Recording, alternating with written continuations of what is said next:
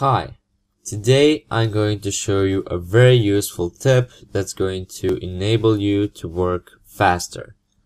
So, for example, right here I have 70 text layers. And wouldn't it be nice if I could just do this and maximize my panel over the entire window?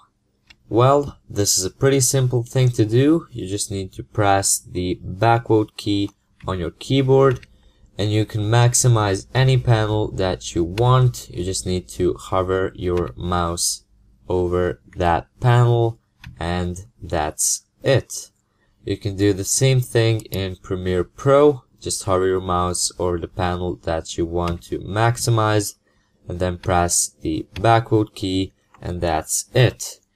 The backward key is usually located in the top left corner of your keyboard um, left to number one.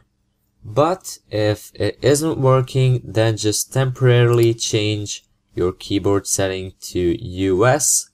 Um, and when you're done editing, just change it back to your original keyboard setting. I hope that this helped you. And if you want to see more tutorials and tips like this one, then please check out my channel and subscribe. Thank you for watching and see you next time.